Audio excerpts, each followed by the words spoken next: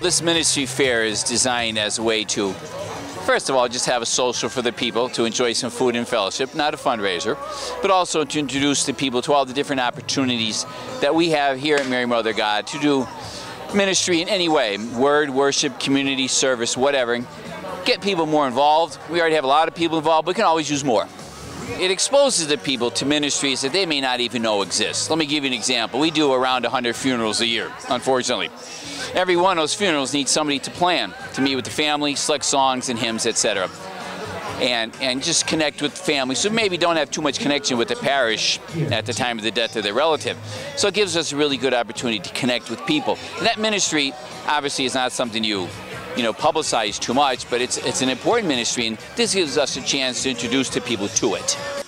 We decided to create a picnic, and we had beautiful weather.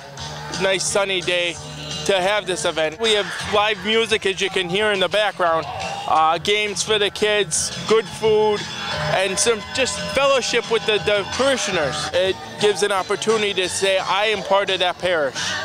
And it gives them a, a, a point to say, that's me. That's part of me now.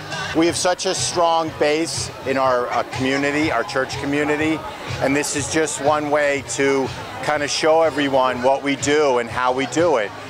It's not hard what we do, but we do need more and more volunteers. It's about fellowship, it's about friendship, it's about faith, it's about bringing everybody together to realize that we are all disciples of Jesus and how we can go about doing that and support each other in our daily lives. So it's about fun too.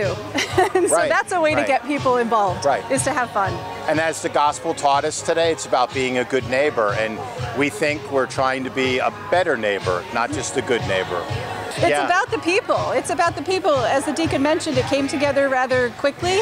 Um, it's very simple hot dogs, hamburgers, a bag of chips, an awesome cake, music, um, sharing information on the four ministries, the four primary min- overarching ministries that we have word, worship, community, and service. And with each, within each one of them, there are dozens of ministries and ways Right. for people to get involved. We've had a great number of volunteers show up. We've been meeting for the last six weeks or so to discuss this. And it's just uh, a great day to be MMOG, and we are glad, Glad to be MMOG. The people here are fantastic. They all uh, are pretty connected, but this is just to um, get people that we might show up for church here and there. I, I think by getting people involved, whether it's the smallest thing or the biggest thing, it's it's it's just a good thing to be involved and have fellowship with your fellow church members. I think it, this parish does a really good job with between the block party and just the people in the neighborhood and the people that have been going to church here probably all their life. It's just a, a nice family church. Our church council decided to have this event, Proud to be Mary MMOG, to make people aware of uh, the four pillars of our church worship, word, and service and community. We need to uh, be together and get to know each other.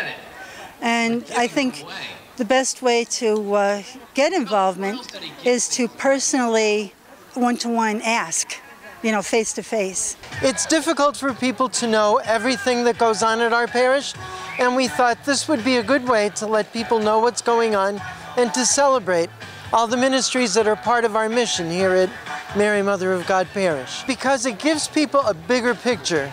You know, a lot of people will be involved in one activity or another.